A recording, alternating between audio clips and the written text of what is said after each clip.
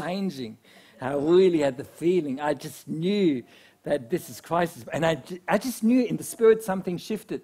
And probably the only other time I had that feeling was 2008. You know, it wasn't in the natural, but I just knew, I just knew it shifted. And so I had just this excitement bubbling up in me, and, you know, things were opening up now. I mean, it was totally the opposite in the, in the natural, but I just knew it's going to open. Then um, Herman pays me um, a visit on Wednesday, and he says that he had a dream about me, and he dreamt that dream twice.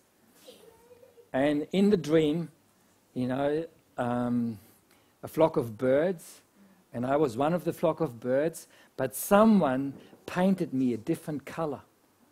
So that I was looking, I was like the other birds, but I was looking like I didn't belong to the other birds, and then the other birds pecked me to death. It's not a very nice dream.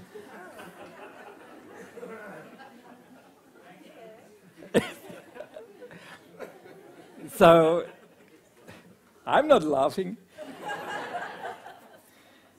so, what's the interpretation of that dream? Um, I think Herman had the interpretation as well is someone is trying to make me look like as if I don't belong and you know be be alien and therefore all that opposition comes. And I thought, you know, with the bishop labeling me as a Toronto blessing Pentecostal in the worst possible colors, and he's not talking about Toronto, he's talking about the abuses that he has in his mind of maybe churches that went down a particular way. I don't even know the details of it. But he's labeling me, and he's done that, you know, publicly, Queensland Pastors Conferences. He names me and he labels me. And when he labels me Pentecostals, in the Lutheran Church, there is almost no worse label. I, I, I really apologize to any Pentecostals. We really honor them, but it, in our mindset, you know, that's the worst. So if I'm get labeled like that, it's like another color is put on me and says, you know, to everyone, to all other Lutherans, he is not one of us. And because he's not one of us, you don't listen and you peck him to death. so, what's a way of counteracting that? If, if someone just, we need we need to come out of being contained and quarantined. We need to have a platform where we can show and communicate what we're really like. Because as soon as people actually hear the story and hear what we're like, they say, ah, this is not what I thought it would be. And so, and, and with that, I also came back again to, um, you know, Lutheran Renewal, publishing a Lutheran Renewal newsletter and giving shape to that. So I was delighted. Then guess what Herman preached on on Sunday? Breakthrough. Oh, I knew it. You know, I already had this excitement. You know, in the prayer meeting, Vicky couldn't believe how happy I was. I was full of joy and peace and confidence, and I just felt it. And then Herman comes, oh, you know, I, I, thought I would preach on this, but God's given me a different message, and the message is breakthrough. And as, and as soon as uh, Herman was beginning to preach on breakthrough, um, Vicky actually connected the dots because she felt her spirit quickening as well. And Vicky felt that she was going to do a 40 day fast at the beginning of the year. So most of us were doing just one week. She, she started 1st of January, came out of it, um, I think, on the 9th, and this is what happened on the 40th day of the fast. So this is one day, this is just, just this is one day, uh, yeah, this is one day after we met the General Bishop. It's exactly on the day that the Queensland Bishop shuts down the tent. You know, I get the news of that. On that day, this is what happened. I read to you her words. Monday, the 9th of February, 40th, 40th day of the fast. I was reading and praying 5 5:30 a.m. and words came out of my mouth that had nothing to do with what I was doing. They were all out before I realized what had happened. I did not move or say anything, just sat. It never happened like that before. And he said, so she speaks unprompted, doesn't think about it beforehand, but these words come out of her mouth Call unto me, and I will answer thee and show thee great and mighty things thou knowest not. That's a good word. Uh, three days later, exactly the same experience, uh, reading and praying by the same time.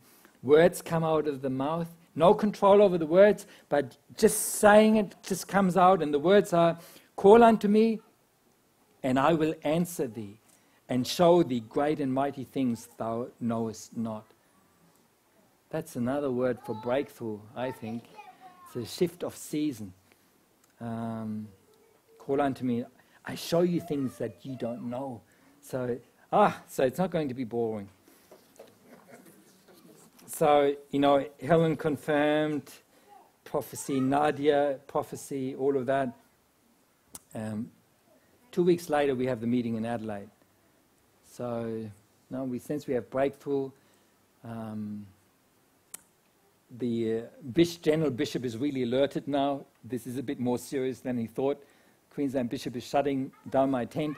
And the Queensland Bishop didn't even want to give me the. Um, now, when we did the ministry in Murwillumbah, Anglican, so the Anglican Bishop of Grafton wanted to know from the Queensland Bishop whether I'm a pastor of good standing so he could be relaxed about me doing ministry among the Anglicans. It's just a formality. Um, and the, you know, but he didn't want to really do it, so in the end, general, the general bishop did it for me. So otherwise, that would have been shut down as well. Um, so we are at that meeting, at the assessment panel. There's no case. We chat, we chat. I have hands out prepared, hands out prepared, um, and you know I present my case in a nutshell, and then I say, okay. I've presented to you what I think and what I think the Bible is saying, and I had plenty of Luther quotes as well. So, this is my case. If you think it's not Lutheran, you got to make your case. You can't just sit there and say, "Oh, it's not Lutheran." You've got to prove it to me. That's just how scholarship works. Like say, you know, I, I, actually took the statement of one of the statements on the Lutheran Church of Australia website with the general bishop there, and it says there on the website that the water baptism and the spirit baptism is pretty much the same because the Holy Spirit is a person, and you cannot get half of the person. So, if, if the Holy Spirit comes to you at baptism, you get the full person, and you've got everything the Holy Spirit ever has for you, you got it already there which is, sounds nicely logical, but it's not, it's not, not quoting a Bible verse and it's not biblical. And I, I said to them, this is demonst- demonstrably wrong. Because, of course, the Holy Spirit is a person. Of course, you get the Holy Spirit at baptism. You got the full person of the Holy Spirit. But you do not get all of the power that He can give to you at your baptism or even at any one point in your life. Because the Bible says, eagerly desire spiritual gifts. So there, there, are periods in life where God releases a new gift to you. And in, when you operate in a gift, you operate in a new power. There's healing, there's miracles. So it's nonsense. I didn't say it like that. But, I, but I'm just tired of always being assessed when the, when the case on the other side is just like not holding any water. I should, you know, anyway, they saw the point. It's, it's not difficult to see the point, but they saw the point and there was no other case. And so the, this assessment panel is dissolved again, and so just see what happens. But I said to the bishop, and he thought, oh, this sounds a bit ominous. Uh, I said to him, look, after we meet with the assessment panel, give me another 30 minutes. Give me another half hour, and I want to share with you what we intend to do to fight this. Step up. And, you know, so he, he gives me that half an hour, and I, I said to him, look, we're not going to accuse anyone. We're not going you know, we're not getting into ugly fights, whatever. But I said, look, how would you feel if we reconnect with the past and relaunch Lutheran Renewal? National Renewal Movement, national newsletter, conference, maybe a prayer network, website, Facebook, you know, just give shape to people that get excited about renewal and the Holy Spirit. And so, how would he feel about that? Would he want to stop that? That's what I asked him. And he said, Why would I want to stop that? Yeah, indeed, why? well, and then he talked positively about He actually wants a renewal movement in the church. He doesn't want a hostile, you know, holiness club and hostile against everyone, but he wants renewal in the church. Then I asked him, Do I need permission for publishing the newsletter? And he didn't say I needed permission. So I'm not quoting, I'm not over quoting him, so because I don't want to get him into trouble. But you know, there was favor from the general bishop, and he said, How did he put it? He said, I would need to trust you. And I, I think he actually trusts me. And then he said to me, You're a bit unusual. You know, you're.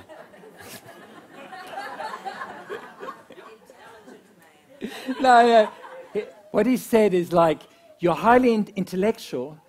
You never I know that you're never going to do anything that you haven't thought through, but at the same time, you're open to all these experiences. That's just a bit an unusual match. So, in other words, I thought he was telling me that he trusts me, that I wouldn't be a loose cannon. And that if, if we're heading up Lutheran Renewal, it's not going to be a loose cannon in the church, but that we are committed to bless the church. And so, ah, that's breakthrough. That's an open door. That is incredible. I mean, oh, this is, this is uh, amazing. Now, okay, so we may start um, Lutheran renewal, but you know it's going to involve all of us. I mean, you're aware of this. If we step into that, we, you know, in Wollombar, we already had a team up there, and we minister as a team. And then the Anglican minister, he didn't call me to go back there. He called Helen, you know, need support with prayer. Then he called uh, Barry and Mandy, the worship team. You know, we'll be traveling, we'll be out there, and, but it's going to be fun. Um, I, I finish with this. So if you start Lutheran Renewal, I got one project for you, for us. And, you know, I've written one book. The, the other one is just, they're doing the layout, so it, it should come. bit slow, but it's, it's going to come. And the two books that I've written, they tell our story and they're also explaining the change in thinking, the paradigm shifts, that, you know, the correction that we went under to actually believe the Bible again and everything that's in there. Now, those two books, I think the next book you write. And the idea would be I'm, I'm a you know, write the opening chapter, setting the scene.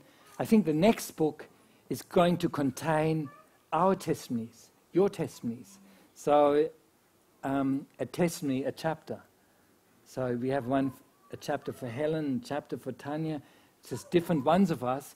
And the idea of it is that, you know, my two books, you know, with lots of theology, but then you tell your own story and the changes that you went through and how hard it was and you know how confusing maybe the journey's even been, the heartache along the way.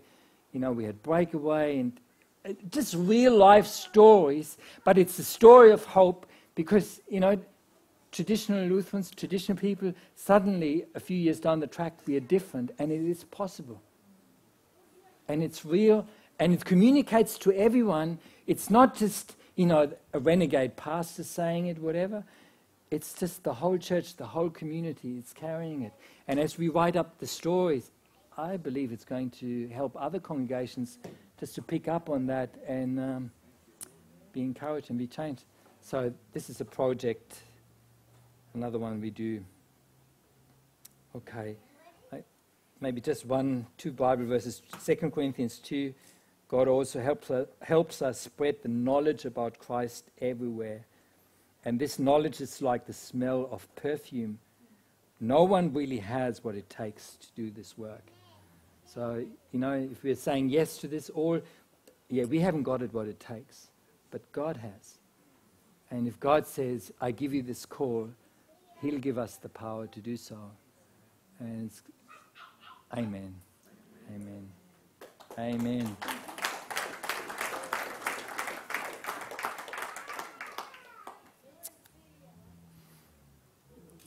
So, how do you feel? Shall we have a show of hands? Should we launch, relaunch Lutheran Renew? Amen.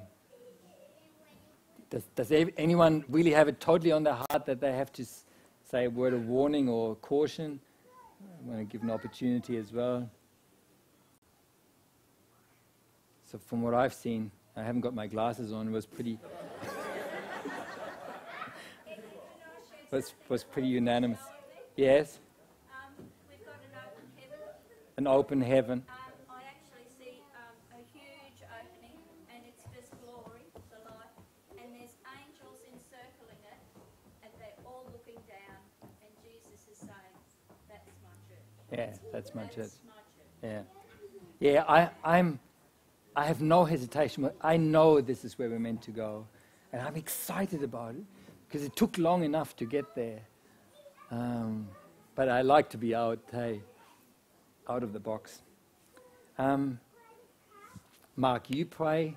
Maybe just three of us. Gary, maybe as well, please. Please. And Tatiana, you want to pray too? Please. We pray and then we have a little bit of a party.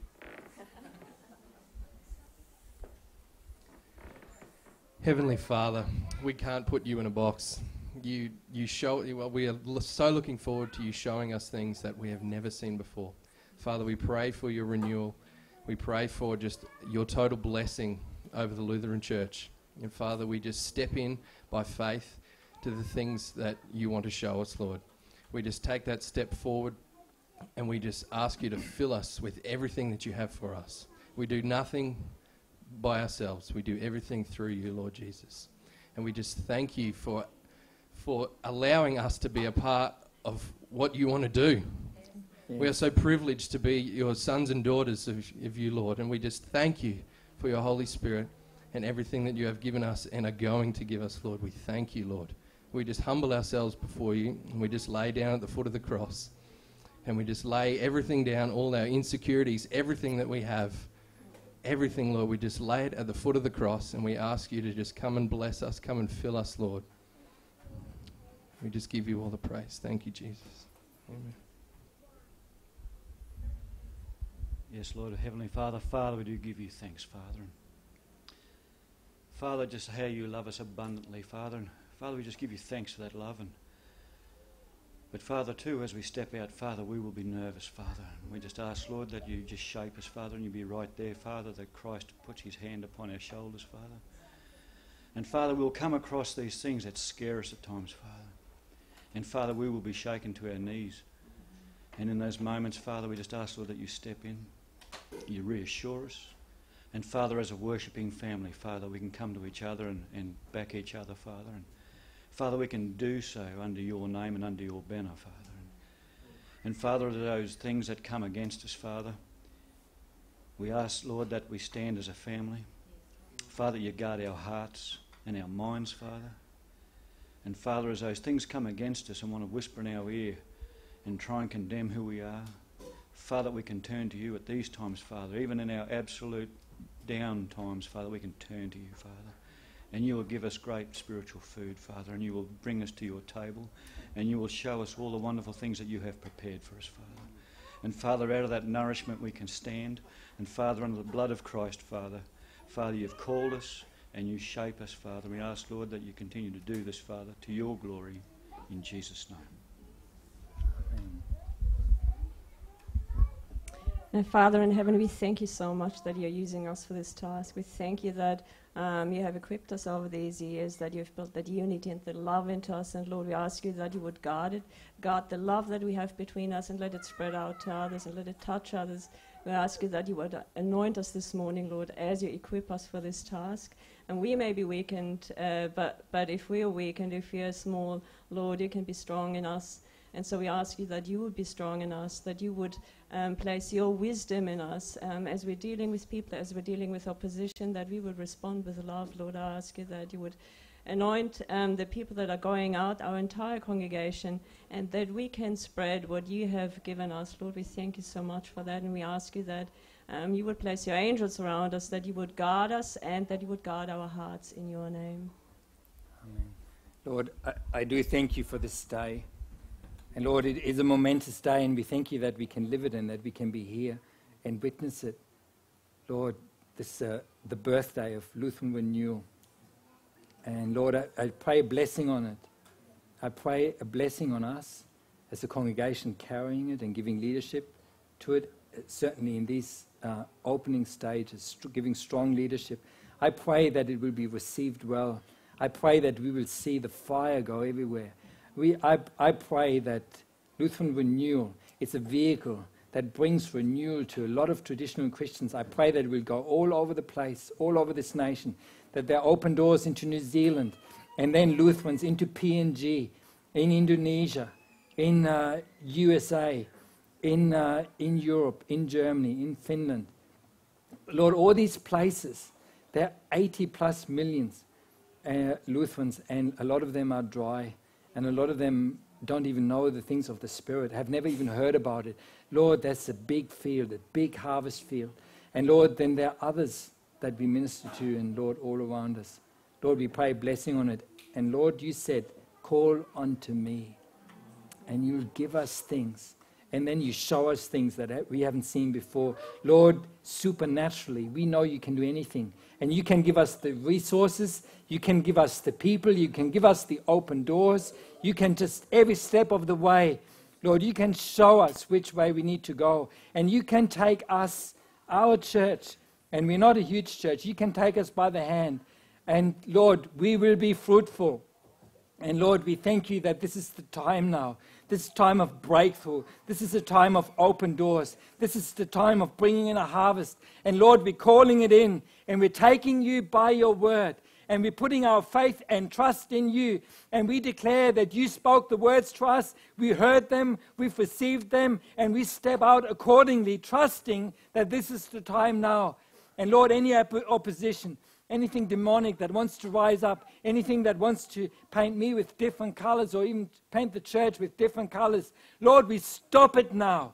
We stop it now in your name. We come against all the demonic forces, the powers and principalities against this church, and we take authority over it and we break it, Jesus. We break it, Jesus, in your name. And there's breakthrough. There's breakthrough. Your word goes out, Lord, and it's taking root, Lord. And there's renewal and joy in place after place after place, Lord. And you're giving us the strategy for it. Lord, in your mighty name, we see that harvest come. Amen. Amen. Amen. It's time for Amy to come forward. I've been out in the foyer. Did you say yes? Yes. Let's just say Edgar will be relieved uh, because we've actually uh, thought we'd have a bit of a time of celebration as a congregation, um, starting something new. So uh, we do have a cake, and I'd love Edgar and Tatiana to cut it if that's okay. And while they're cutting the cake, um, Carl, can you?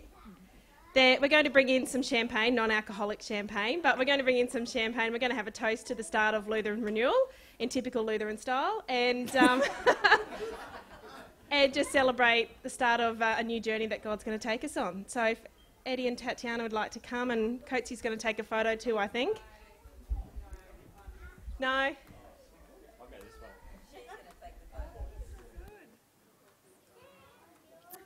Uh, we won't tip it. But do you want to say what, what's on it?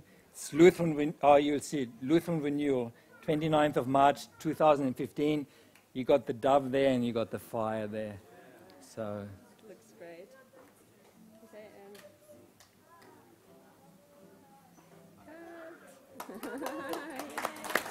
Hey.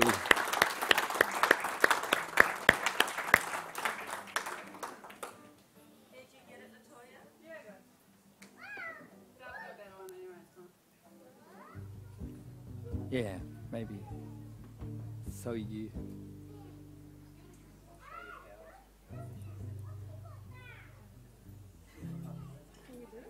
Uh, you, you, you want to do it?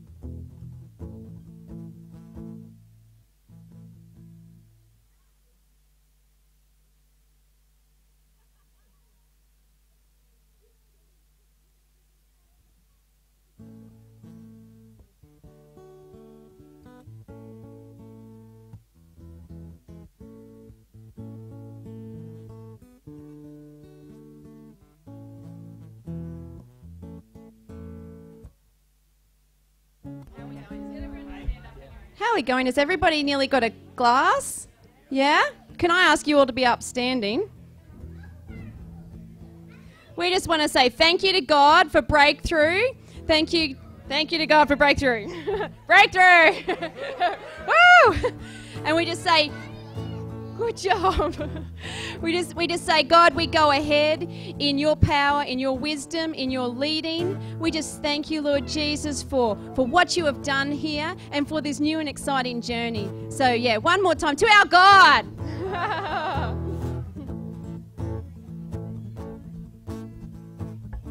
Would you like to join with us? We, Vicky said she's had for the last hour and a half. These are the days of Elijah, like just going in ahead. And so we've got that one. If um, our wonderful sound people would mind finding that for us, we can all join in it.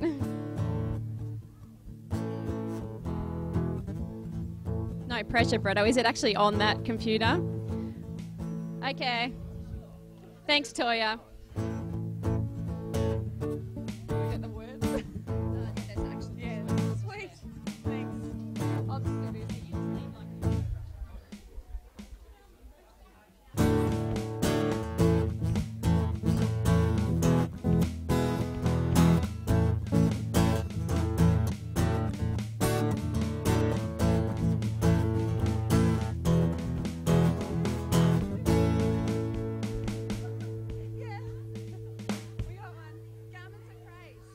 Garments of praise. Do you know this one? Yeah, I can't play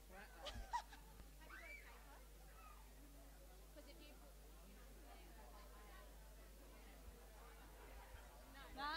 Do we kill it or not? Sorry. Yes, it's coming. We're gonna do it. All right. Or do you want to just do happy day?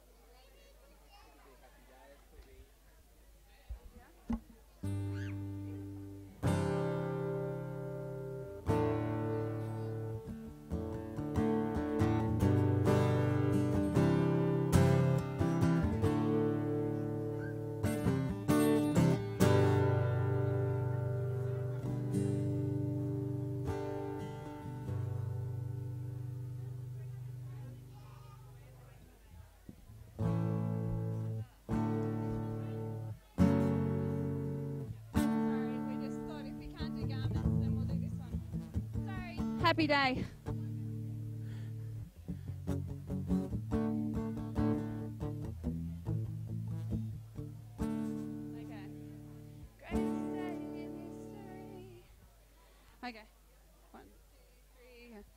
Greatest day in history.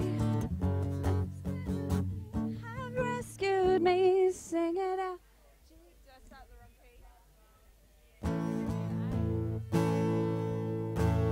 Day in history. Death is beaten, you have rescued me. Sing it out, Jesus is alive. The empty cross, the empty grave. Life eternal, you have won the day. Shout it out, Jesus is alive.